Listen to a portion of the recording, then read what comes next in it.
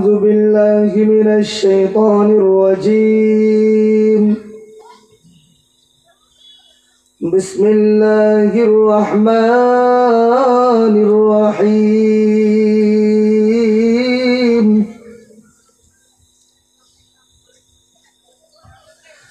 القارعة ما القارعة؟ وما أدراك القارعة؟ صدق الله العظيم. نحمده ونصلي على رسوله الكريم. أما بعد فقد قال الله تبارك وتعالى أعوذ بالله من الشيطان الرجيم.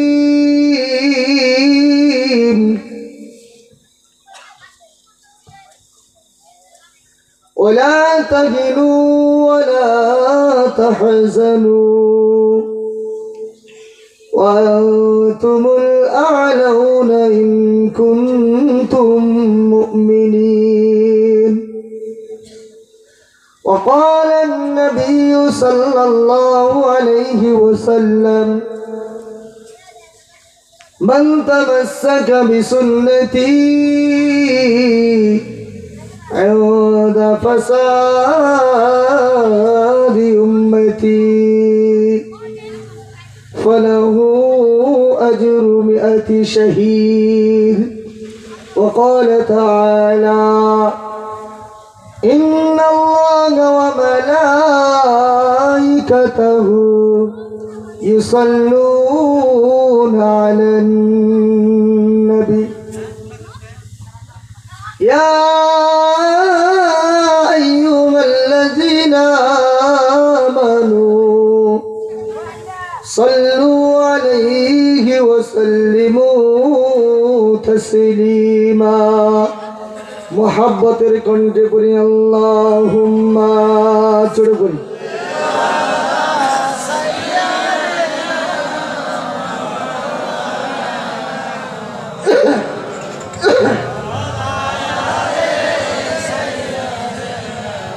মাওলানা মোহাম্মদ মোদের যাওয়ার সময় হলে কাটবে ঝাড়ের বাস। দিনটি দিও জুমার খোদা রমজানের দিও মাস। কাপনের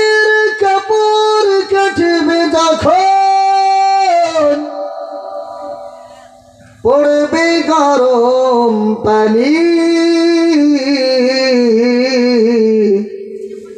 পাপির কানে শোনাইও খোদা।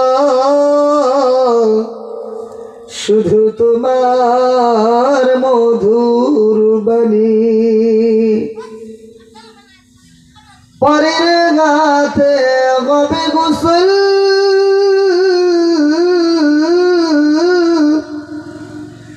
হাত সেই দিন চলবে না।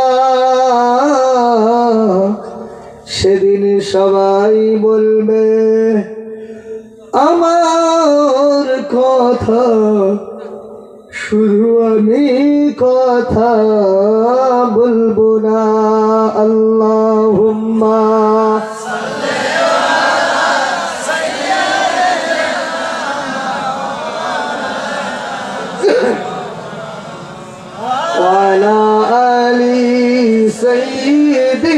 سیدنا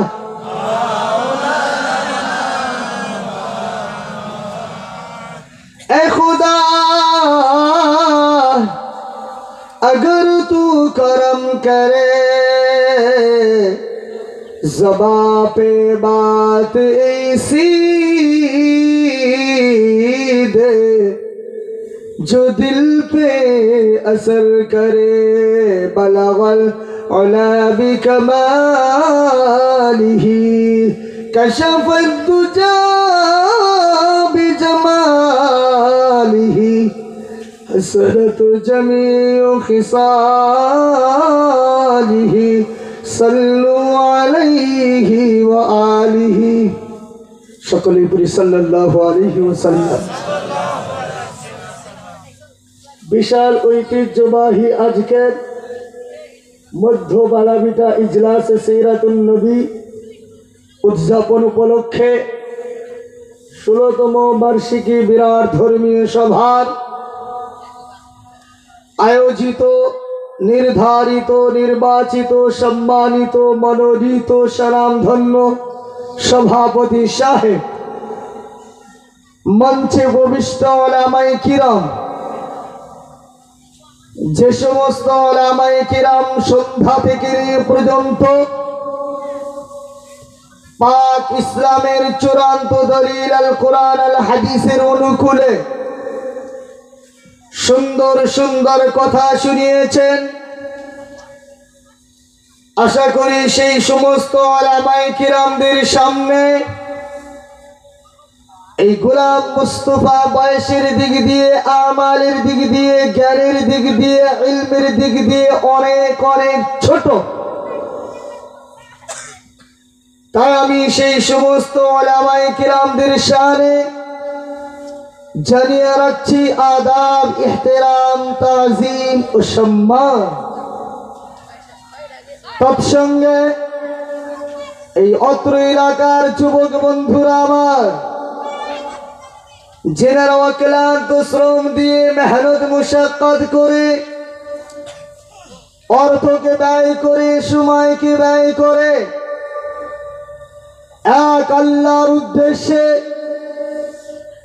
মানব জাতির কল্যাণের উদ্দেশ্যে, মানুষের সেবামূলকের উদ্দেশ্যে,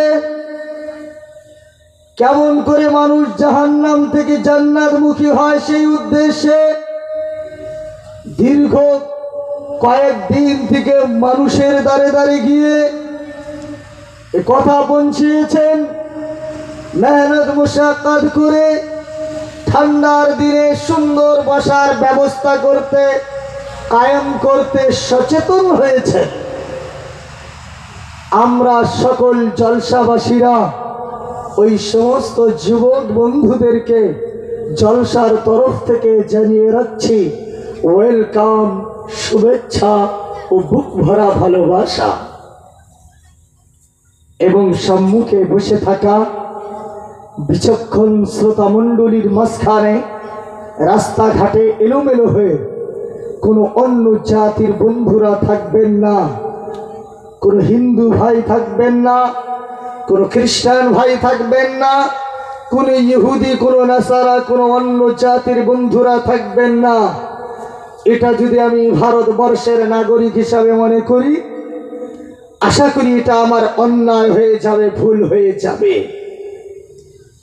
তার কারণ, এই ভারতবর্ষের মাটিতে তথা আসামের জমিনে হিন্দু, মুসলিম, জৈন, খ্রিস্টান, ইহুদি, নাসারা, আমরা সকলেই কাঁধে কাঁধ মিলিয়ে, বুকে বুক মিলিয়ে, হাতে হাত মিলিয়ে শ্বাসে শ্বাস মিলিয়ে, গলায় গলা মিলিয়ে আমরা যার যার ধর্ম পালন করতে পারি কিনা বলেন? আওয়াজ নেই পারি কিনা বলেন? তাই আমার ভয়ের যদি কোনো একটা হিন্দু ভাইয়ের কর্মে পৌঁছে যায়, কোন প্রশাসনিক বন্ধু, আর্মি, আইপিএস, পুলিশ, বিএসএফ বন্ধুর কারণে যদি পৌঁছে যায় কোন সাংবাদিক বন্ধু যদি এসে থাকেন, মিডিয়ার কোন বন্ধু যদি আমার ভয়েসকে রেকর্ড করে থাকেন, গোয়েন্দা বিভাগের কোন বন্ধু যদি আড়ালে থেকে আমাকে ফলো করছেন, আমি সকল অন্য জাতির বন্ধুদেরকে জানিয়ে রাখছি, শ্রদ্ধা, ভক্তি ও বুক ভরা ভালোবাসা এবং সম্মুখে বসে থাকা প্রাণ প্রিয় কলিজার টুকরা। আব্বাজানের বয়সে আব্বাজানের আমার। পর্দার আড়ালে যদি বসে থাকেন শ্রদ্ধা সম্মানিয়া, মাননীয়া, কলিজার টুকরো আম্মাজানের বয়সে আম্মাজানের আমার। ছেলেদের কুচি কুচি, ছোট ছোট ভাই এবং বোনেরা আমার, সমবয়স্ক যুবক বন্ধুরা আমার, সকলকেই জানিয়ে রাখছি এক গুচ্ছ সালামের ডালিয়া। আসসালামু আলাইকুম ও রহমতুল্লাহি পিছনের বন্ধুরা আমার রেগে গেছেন, আমার উপর নাকি? মনে মনে ভাবছিলেন কলকাতা থেকে সুদূর পশ্চিম বাংলা থেকে মুখ্য অতিথি সাহেব আসবেন। মনে হয় বিশাল দেখতে লম্বা তাগড়া উঁচু হবে, পাগড়িওয়ালা, পাকা দাড়িওয়ালা হবেন, বিশাল মোটা তাগড়া দেখা যাবে। এই জন্য সামনে বসে গেল আমার ছেলের বয়সের বয়স।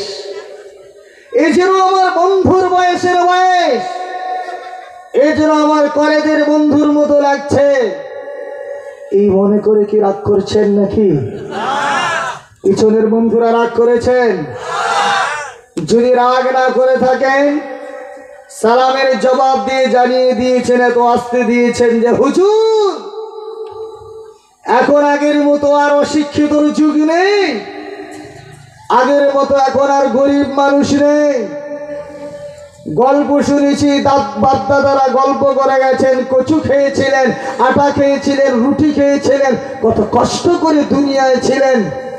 ওই সময় গরিব ছিলেন তেনারা, নিজেদের ভিতরে সালামের আদান প্রদান করেছেন। এখন তো আমরা ধনী হয়ে গেছি। এখন শিক্ষিত যুগে পা দিয়েছি। নিজেরা ইংরেজি জানি, বাচ্চাকেও মিশনের মিশন করে দিয়েছি, মিশনে ইংরেজি শিক্ষা করে। এই যুগে বিজ্ঞান যুগে পা দিয়ে আমি যদি কাউকে সালাম দেই, আমার বাচ্চা যদি কাউকে গিয়ে সালাম দেয়, সামনের মানুষটি মনে মনে ভাববে, এই ছেলেটা মনে হয় ইংরেজি জানে না। ছেলেটার বাবা মনে হয় ইংরেজি জানে না। এই ছেলেটা মনে হয় একটা গরিবের ছেলে। ছেলেটা মনে হয় একটা মুয়াজ্জিন সাহেবের ছেলে। ছেলেটা মনে হয় মাদ্রাসার ওলামাই কেরামদের ছেলে, মসজিদের ইমামের ছেলে। এর বাবা যদি ইংরেজি জানতো, এর বাবা যদি ব্যবসায়ী হতো, এর বাবা যদি মাস্টার ডাক্তার হতো, এর বাবা যদি সত্যিকারে ধনী মানুষ হতো, তাহলে অবশ্যই ছেলেটা আমাকে দেখা হলে গুড মর্নিং বলতো গুড আফটারনুন বলতো গুড ইভিনিং গুড নাইট বলে রাত্রিবেলায় ঘুমিয়ে পড়তো। এটা আমাদের বিশ্বাস চলে এসেছে, ঠিক কিনা বলেন? ভুল বলেছি গো আব্বা? একটা কথা মনে রাখব। মুসলমান রাসূলের তরিকে ছেড়ে দিয়ে, নবীর তরিকে ছেড়ে দিয়ে এলাকায় যত লাপালাপি ঝাপাঝাপি করি না কেন, শান্তি নিয়ে আসব। রসুলের তরিকা ছেড়ে দিয়ে জীবন গেলেও এলাকায় শান্তি আনতে পারব। আওয়াজ নেই পারব? জীবন গেলেও এলাকায় শান্তি আনতে পারব না। কারণ আমরা জানি, এই দেশটা হলো সহানুভূতির দেশ।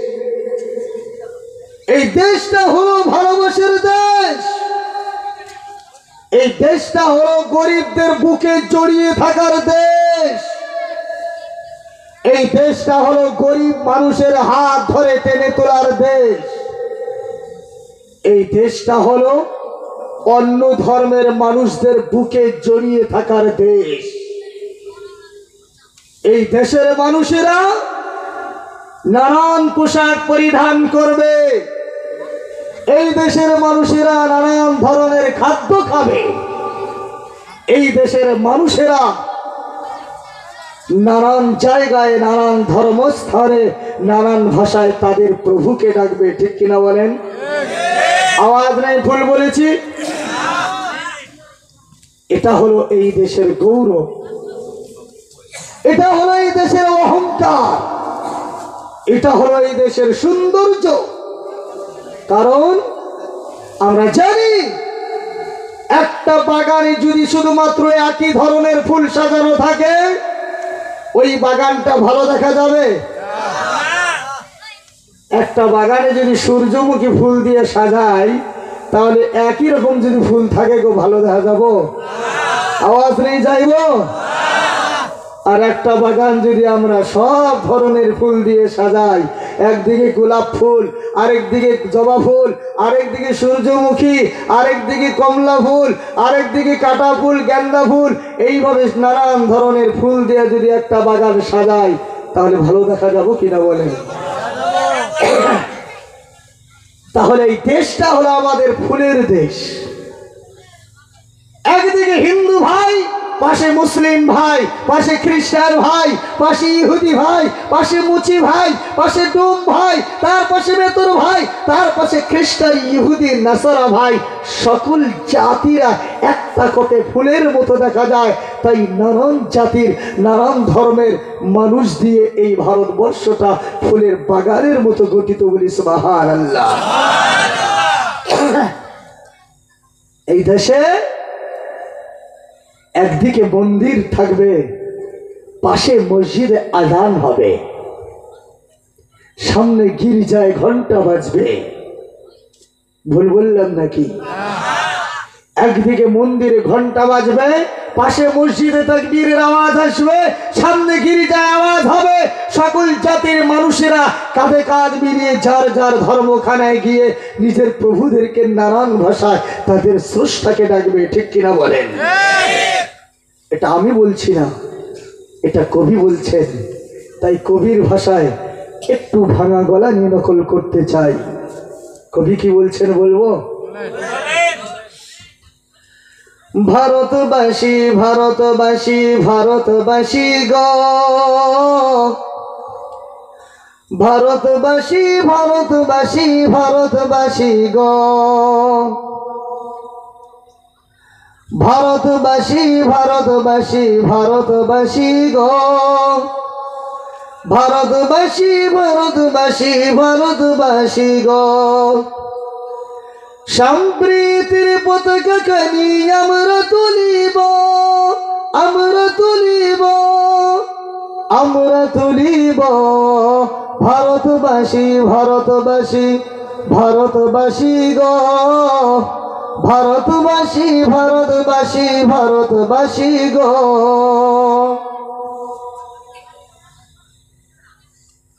ক্ষুদিরামের আশফাকুল্লার বলিদানের দেশ।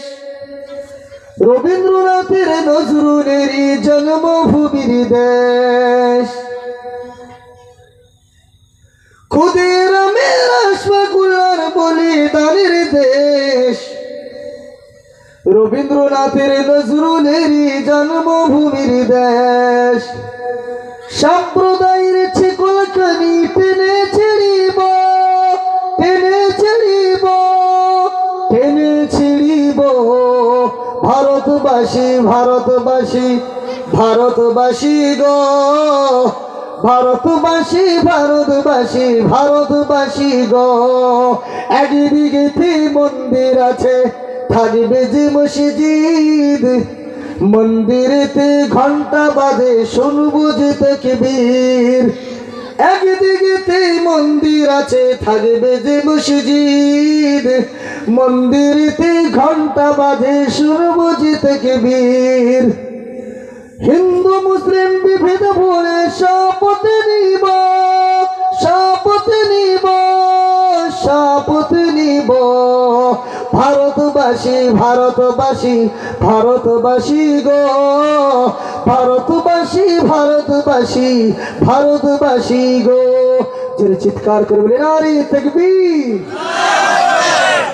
তাই কবি বলছেন এই দেশে একদিকে মসজিদ আছে, একদিকে মন্দির থাকলে, সামনে গির্জা থাকবে সকল জাতির মানুষেরা কাঁধে কাঁধ মিলিয়ে, বুকে বুক মিলিয়ে তাদের ধর্মকে পালন করবে, ঠিক কিনা বলেন? এই দেশের মানুষের মোহাব্বতকে দেখে, এই দেশের মানুষের হিন্দু, মুসলিম, জৈন, খ্রিস্টানের ভ্রাতৃত্বটাকে দেখে, সকল জাতির ঐক্যকে দেখে সকল জাতির ভালোবাসার বন্ধনটাকে দেখে, এই দেশের ফুল বাগানের মতো সুন্দর যুগে কেউ যদি দেখে, কোনো বেইমার ইংরেজের দালাল যদি সহ্য না হয়, সে যদি দাঁড়িয়ে যায় ভারতবর্ষের সকল জাতিরা হিন্দু মুসলিম জৈন খ্রিস্টান ইহুদি নাসারা এক প্ল্যাটফর্মে দাঁড়িয়ে শপথ নিয়ে ওই বেইমান ইংরেজের দালালকে লাথি মেরে ভারত থেকে বহিষ্কার করে দেবো ঠিক কিনা বলেন? আওয়াজ নেই ভুল বলেছি? কারণ এই দেশটা হলো ভালোবাসার দেশ ঠিক কিনা বলেন? নবী জানিয়েছেন আমি এতটুকু টানলাম কেন জানেন? সালামের জবাবটা আসতে দিয়েছিলেন বলে। তাই নবী শিক্ষা দিয়েছেন, যে সময় নবী পৃথিবীতে এসেছেন, ওই যুগটা ছিল বড় অন্ধকারের যুগ। ওই যুগটা বর্বরতার যুগ। ওই যুগটা ছিল হানাহানি, কাটাকাটি, মারামারির যুগ। নবী এসে প্রথমেই সকলকেই শান্তির জন্য, সালামের জবাব দেওয়ার জন্য, সালামের আদান প্রদানের জন্য হুকুম দিয়েছিলেন। আর সবাই তখন আমাল করেছে, এত শান্তি কায়েম হয়েছে, এত ভালোবাসা তৈরি হয়েছে, মানুষ তো দূরের কথা, জঙ্গলের জানোয়ারেরা পর্যন্ত এক ঘাটে পানি পান করত জীবন গেল, একটা জানোয়ার, একটা জন্তু, আরেকটার দিকে চোখ রাঙিয়ে দেখার হিম্মত ছিল না। ভুল বললাম নাকি? আর বর্তমানে মুসলমান একই দস্তারখানায় ভাত খায়, দশ হাত দূরে গিয়ে গিবত গায়। দশ হাত দূরে গিয়ে এক দস্তারখানায় ভাত খেয়ে, দশ হাত দূরে গিয়ে তার ব্যাপারে যে কত বলি তার ঠিক নেই। ঠিক কিনা বলেন? এইরকম অবস্থা হয়ে গেছে। তাই বর্তমান যুগে আবার যদি ভালোবাসা ফিরাইতে চাই, তাহলে আবার আমাদের ভিতরে সালামের জবাব চাই, সালামের অভ্যাস চাই, রসুলের তরিকা চাই। আগামী কাল থেকে যদি সালাম দেওয়া অভ্যাস করি, দুইটা ফায়দা বলব এখানে বসে বসে। একটা মরার পরে, আরেকটা দুনিয়াতে বাঁচার সময়। দুইটা বড় বড় ফায়দা বলব। আগে আমি দেখতে চাই যে আগে আগামী কাল থেকে অনেক জলসায় হাত উঁচু করেছি। আগামী কাল থেকে যেহেতু এই জলসাটা হলো হেদায়তি জলসা, এই জলসা মানুষের পরিবর্তনের জলসা, এই জলসাটা মানুষকে জান্নাতমুখী হওয়ার জলসা। তাই আমি হাত দুখানা দেখতে চাই। ফায়দা দুইখানা বলার আগে যে কারা কারা আগামী কাল থেকে ওয়াদা করব নিজেরা সালাম দিব। এলাকার কুচি কুচি বাচ্চাদের হাত ধরে ধরে সালামের অভ্যাস করাবো কারা দায়িত্ব নিয়ে করাবো, একবার হাত উঁচু করে দেখাই। বলি না আরে করব তো ইনশাল্লাহ আমল। তাহলে হাদিস শুনিয়ে দিব। ফায়দা বলব দুইটা ফায়দা। আমল হবে তো ইনশাল্লাহ عن أبي هريرة رضي الله تعالى عنه قال قال رسول الله صلى الله عليه وسلم من تمسك بسنتي عند فساد أمتي فله أجر مئة شهيد আল্লাহর নবী দুজাহানের বাদশাহ প্যারে নবী তিনি জানিয়ে দিয়েছেন ও আসামের মানুষেরা কান খুলে শুনে নেই এটা আমি ভারতবর্ষের পিম মিস্টার নরেন্দ্র মোদীর কথা শোনাই নাই এটা আমি পশ্চিম বাংলার সিএম মাননীয় মমতা ব্যানার্জির কথা শুনে নাই। এটা আমি আসামের জমিনের সিএমের কথা বলি নাই। এমন একজন মানুষের কথা আপনার সামনে তুলে ধরেছি, তিনি হলেন শ্রেষ্ঠ নবী জাহানের বাদশাহ হজরতে মোহাম্মদ মুস্তাফা সাল্লাল্লাহু আলাইহি ওয়াসাল্লাম। আজ থেকে প্রায় দেড় হাজার বছর পূর্বে এলান করে গেলেন, জানিয়ে গেলেন, আমার উন্মতির দল এমন একটা সময় তোমাদের সামনে চলে আসবে, যে সময় কেউ কাউকে সম্মান দিতে চাইবে না। ছোট ছোট বাচ্চারা বড়দের কথার কোনো দাম দেবে না। যুবকেরা মায়ের ঘাড় ধাক্কা দিয়ে বাড়ি থেকে বাহির করে দিবে। বয়স্ক মানুষের কথার কোনো দাম থাকবে না। একজন দোকানদার আরেকজন দোকানদারের পিছনে পড়ে যাবে। একজন মাস্টার আরেকজন মাস্টারের পিছনে পড়ে যাবে। একজন ডাক্তার আরেকজন ডাক্তারের পিছনে পড়ে যাবে। একজন মাওলানা আরেকজন মাওলানার পিছনে পড়ে যাবে।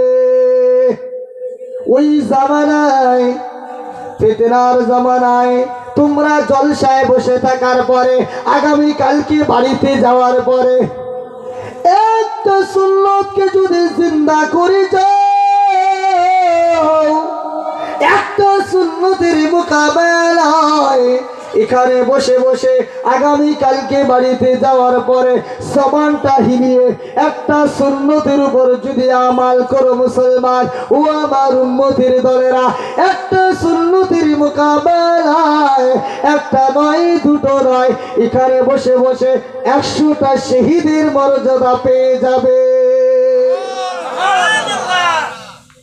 একশোটা শহীদের মর্যাদা পেয়ে নারাজরা খুশি।